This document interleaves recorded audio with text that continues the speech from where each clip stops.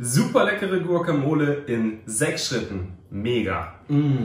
Und für dieses Rezept braucht ihr sechs Scheiben Jalapenos und zwei Zehen Knoblauch, die ihr jeweils beide super fein hackt.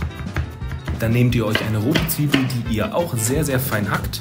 Jetzt nehmt ihr euch zwei Avocados, entfernt den Kern, gebt alles in eine Schüssel und anschließend nehmt ihr euch eine Limette, presst sie aus und gebt den Saft zur Avocado dazu und vermischt anschließend alles. Jetzt noch die drei kleinen Tomaten würfeln und dann anschließend alle Zutaten in die Schüssel geben. Jetzt das Ganze noch mit Salz und Pfeffer abschmecken und Zucker oder Agavendicksaft dazugeben.